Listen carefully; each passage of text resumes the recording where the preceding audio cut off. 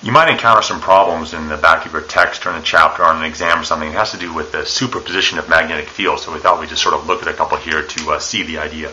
So of course the superposition means uh, two, mag field, two magnetic fields are going to be adding together, but of course you need more than one magnetic field for that to happen. So what it looks like then is you'll have more than one magnetic field system near each other in order to have superposition. So for instance, here's a wire carrying a current towards us, and here's another wire carrying a current towards us. So one question would be, what would the magnetic field be right here?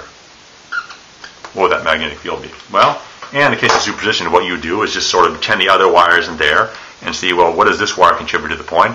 Thumb in the direction of current, curl around like this. This wire is going to contribute a magnetic field up like that at that point. How about the other wire? Well, fingertips in the direction of current coming out, curl it down like that. This wire is going to produce a magnetic field down at this point. So right here at the center, these two wires are going to produce no net magnetic field. It'll be zero. And of course, as you move, say, on the axis of the wire, say, over to a point like this, the red arrow is going to be a bit stronger than the blue. It'll be in the same direction for sure. The right hand rule isn't changing, but the red arrow is going to be larger because you're closer to that wire, and the blue arrow is going to be smaller because you're farther from that wire.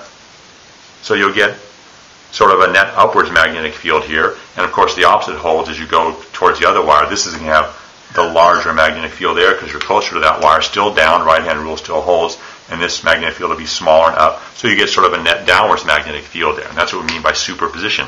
And if you really needed to, you can now invoke the equation for the magnetic field of a straight wire to actually figure out what the exact magnitudes and so on and so forth would be. So that's sort of the idea here, superposition. Here's another case here where maybe a wire has a current going away from us, and here's a wire with current coming at us. Suppose we went right to the middle again. What would happen? This is the currents coming out at us, so this one's going to produce a magnetic field down like this. And this has this current going into the bore, so I'll put my thumb in the direction of the current, curl around down like this. This will also have a magnetic field down like that. So you see, unlike the wires that are carrying current in the same direction, when the wires are carrying current in opposite directions, like this, you get a superposition here. So the B here at the center is enhanced for sure, something like that for two wires in there. Um, so the problems can sort of go on and on. Like, for instance, you could have a case like this where you have a loop of wire like this. Everyone loves that loop, so thicker in the front. I'll try to draw a little thin in the back there like that. So here comes that axis of the wire in like that. And what we know now is we run a current down the loop in this direction here. The magnetic field at this point is going to be over like that. Okay, so say we're a distance A from the loop like that, and say just coincidentally, we also have a wire down here like this. Uh, let's say the wire instead is maybe making, yeah, right here. Wire that has a current going into the page, and maybe it's a direction, a distance B from that same point. Well, this arrow here, this black arrow, is the magnetic field due to the, the loop right here. What about the wire? Well, finger, thumb in the direction of that current into the page, wrap around like that. Looks like this one will produce a magnetic field. The wire will produce a magnetic field this way through the point. And so the red is B due to the wire. The black one right in here is B to the, due to the loop. And you can see there's a point here with two magnetic, magnetic fields in it, so of course they will add together. So you can certainly calculate the magnetic field, a distance A from a loop, and distance B from a wire, and vectorially add them. Looks like we'll get some reinforcement in there. That's what we mean by B field superposition.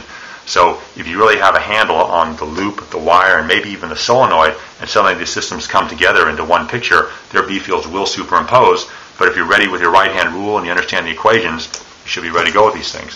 How about a couple of loops like this? How about a loop that looks like this? So again, nice and thick in the front, indicate the edge that's towards us like that. So here's like a big axis like this, and we'll draw another loop over here. Nice and thick in the front, sort of going back that way. Let me draw a little, give this a little bit of perspective in there. Sort of goes behind, and there's that axis coming out like that. So these are the two loops right here. And, you know, just for the sake of simplicity here, We'll draw the currents coming down along these edges like that, and ask what the magnetic field is right there at the center point. Okay? Well, what do we get? The leftmost loop, as we know by now, will contribute a magnetic field sort of that way like that. I can put my fingertips in the direction of the loop, my thumb like this, and my thumb will point in the direction of the uh, magnetic field, or fingertips in the direction of current rather. And I can do sort of the same thing over here. I can put my fingertips in the direction of this current right here, and I'll get a magnetic field over this way. And so this loop is going to have contribute a magnetic field this way and that way over there like that. Likewise, the the leftmost loop will have a magnetic field also over here, but we're not concerned with it because it's not in our superposition point. But of course, right here at our superposition point, looks like we have a, an enhancement of the magnetic field. We have a very strong magnetic field. That'd be twice either loop alone right there at the center point. Okay, you can extend the system now. Let's just take away that uh, current for a minute here. Let's just reverse the direction of the current in this loop over here. So let's get that arrow off there and just reverse it like this. So instead now let's just make the current going down like this. There's the current now. So if I run my fingertips in the direction of the current like that, like this, it goes around, you can see that that right loop is going to produce a magnetic field which is exactly opposite of this right here. So what you'll get in this region here, right there at the center point, is a B equals zero. They'll cancel each other. And uh, so this is one way of making sort of a zero magnetic field environment, at least along an axis that goes like that. And sometimes these two coils put together here I'll call it Helmholtz coils. And you see them in laboratories and that sort of thing where someone is trying to control the magnetic field at some localized region in there. And so we'll just sort of wrap this video up, but that's exactly what I'm talking about when we have B field superposition. That can you take combinations of wires and loops and loops and wires and stuff, visualize their fields, and do a magnetic field superposition at a certain point in space. Now, we simplified in this video here, we only looked at superposition cases where it's only on one axis, but of course the magnetic field can be on different axes and things like that. So we'll just wrap up the video by looking at one more sort of two-dimensional case like that. So one of the two-dimensional cases we'll look at is, again, we'll go back to the two wires. Here's a wire here, say two wires in the same direction. And let's just say we go to a point up here. We like to know what the magnetic field is, a point like that, above the wires like that. Uh, well, you just use a right-hand rule again. Here, my thumb is in the direction of this current here, and we sort of wrap through this point. So there'll be a magnetic field sort of down like this. This is due to the right wire. Again, there's a big circle going all the way around the wire, and at this point, that circle is sort of going down to the left. How about due to this wire here? Well, up like this, again, another circle, big circle going around, and by the time that circle makes it to the point like that, there'll be an arrow pointing like this. So the magnetic field, so this is B here due to the left wire left wire. So what you're left with doing here is doing a magnetic field superposition of the B field due to this wire and the B field due to this wire at this point. Looks like to me if you did a vector superposition, the Y components will cancel and looks like there'll just be an X component to the left.